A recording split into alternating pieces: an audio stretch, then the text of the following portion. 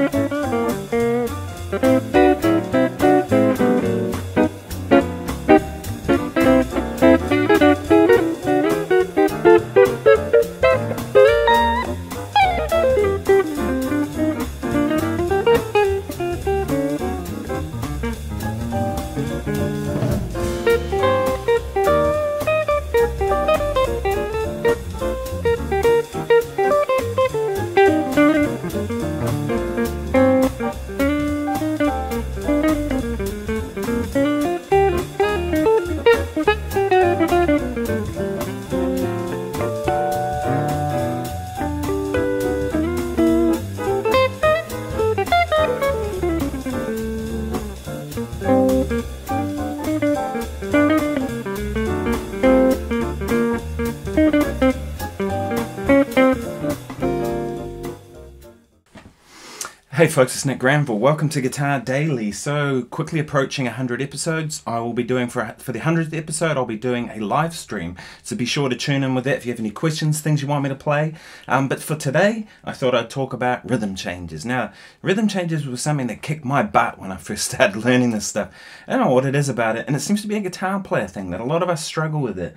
Um, still today, it's like there's things that I'm, I'm, working on to do with rhythm changes. So I thought I'd discuss some of that today. Um, I remember seeing the great John Abercrombie talking about it. It's like rhythm changes are his nemesis, he said. And so I thought, well, okay, I didn't feel so bad about the fact that I sucked at them.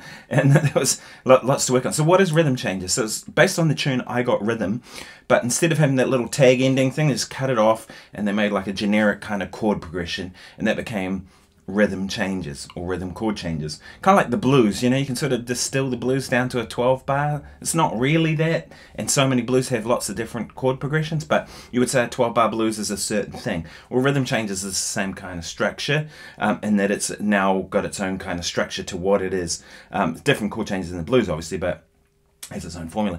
So the first thing I'd say is you need to work out is what you consider a rhythm changes, right? So everybody has different kind of approaches to how this works. But for me, it's like the, the basis of it is essentially one, six, two, five, and then very simply, same again. And then one, three in the bass, four, passing chord, five, and back to one. We do that twice because it's an AABA form. And then the bridge, D7, which is up a third, right? And two bars on that. Then it moves up a fourth to G, two bars on that. Move up a fourth, two bars on C, and two bars on F, and then the last A, which is the same as the first, right? So that's kind of in my mind how I'm looking at it. Now, it's far more complex than that. My preferred changes, like that's like my basis that I use for it, but my preferred changes really are one, six, two, five, and then instead of going back to one, I, I usually typically think three, six, two, five, right? And then instead of this one, three in the bass, four thing, I prefer to think two, five, one into the four chord, and then that passing chord, five chord back, right? Everything else is the same. So once you've got a sequence in mind for how you think rhythm changes go, now you've got something you can work on, right? And so for me, I think one of the key things to to doing that is to, to right, you've got a sequence and then start doing some change running all these things. I've talked about these in previous um, episodes of Guitar Daily. If you if you're not sure, go back and check them out. Um, but change running would be a good idea. Um, arpeggios, anything like that that you can do. Um, as Americans say, arpeggios, however you want to say it. Um, all that kind of stuff, like the the the uh, the groundwork, if you will, has to be done. So approaches, conceptual approaches. First thing I would say is like you can't go wrong with playing melodies. You probably heard me a bunch of times playing things like.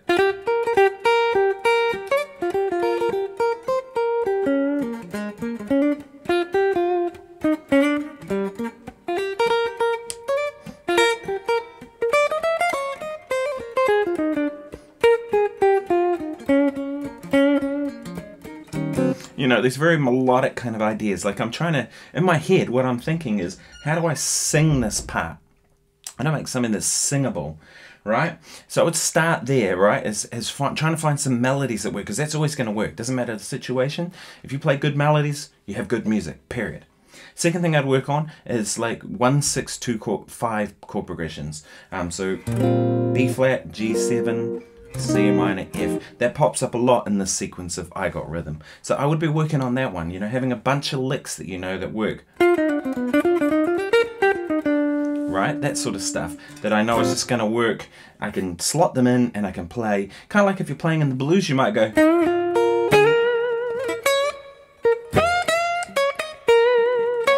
You have those licks that are like your your um your vocabulary that you build on. So have a bunch of one, six, two, five licks, and you'll be in good stead to play over this, right? Um, now, when we get to the, the bridge section, we have these chords here, right? Really, each chord has to be treated on its own. Right? You know, a Mixolydian would be a good starting place on each chord, but you also could do Lydian dominant.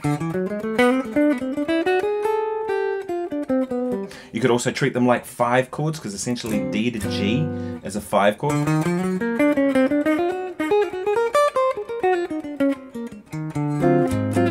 Right, I've done a um, lesson already on super Superlocrian, so you could try super Superlocrian over that. You could also substitute chords. You probably would have heard I was doing a bunch of that.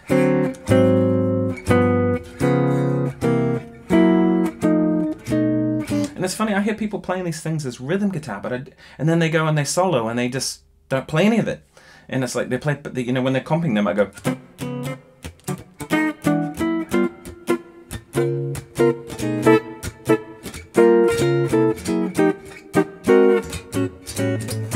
And they'll play these things when they're comp, but then, then they go in solo. None of that happens. So all the things that you can do for comping, I do for soloing as well, right?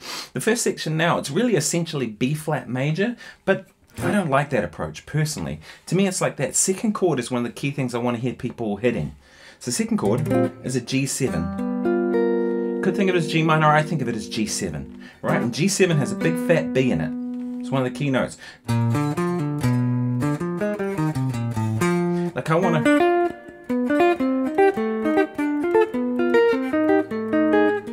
want to hear people hitting hitting that B B note.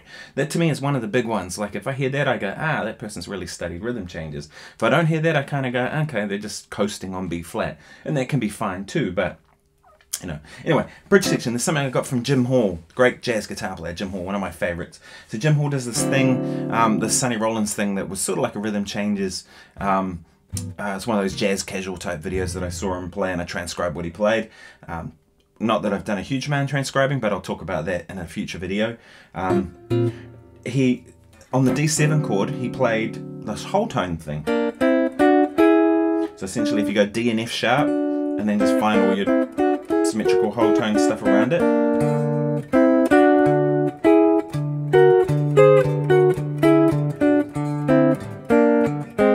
Right, and then when the next chord came down, he played the exact same thing but down a step.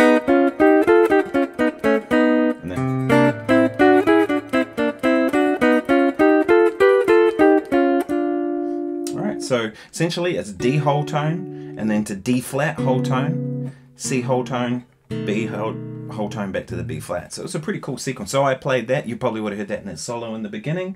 Um, one thing that I think is often forgotten about in rhythm changes is just playing the blues over it. And that sounds, to me, sounds really cool. Like, you know, you can have these chord changes going by and play. Right? And that becomes like a tension sound, right? And the blues, I, I, the way I see the blues when you put it into any kind of jazz context is becomes a statement and to me, it's like that statement goes, right, here here it is. Um, and it's sort of a nod to the roots of this music, because this music came from the blues, right? So to me, it's like as soon as I hear a reference to the blues, I go, ah, all's right in the world. um, but, you know, again, it's another way of playing tension because it's not really the blues at all. In fact, it's B flat major. So playing B flat like seven stuff over it, and that's tension, isn't it? And that, that's how I treat it as such. Um, and the other thing I like to do is just apply other chord changes. So instead of,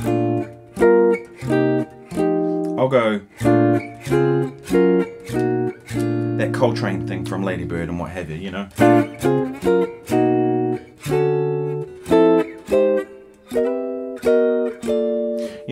Put in those movements. You would have heard that in that solo earlier. I might have, I might have done those kinds of things. Um,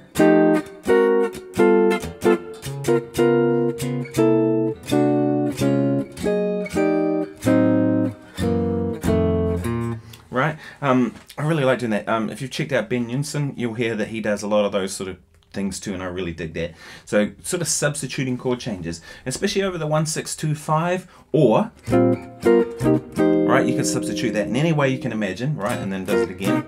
But this bit, right? It could be, it could be whatever subs you know, use them. And again, they become tension things. Um, I think that, that that's a good one to use in rhythm changes. And the last one that, I, that I'll talk about today is sustaining notes. Now, I don't particularly sustain a lot in that solo at the beginning. And I think this is one of the reasons that a lot of guitar players really struggle with rhythm changes, myself included. Um, if you check out, like um, I was talking about John Abercrombie earlier, there's that video he did with the Hudson Project with Bob Mintzer. Bob Mintzer's burning on that opening rhythm changes that they do. And then he, Bob Mintzer plays this thing where he just kind of sustains a note. And you go, yeah, I wish we could do that on guitar. Because, you know, we hit the note and it's kind of going to do this and tail off. Whereas horn players can kind of sustain notes through a lot better than we can.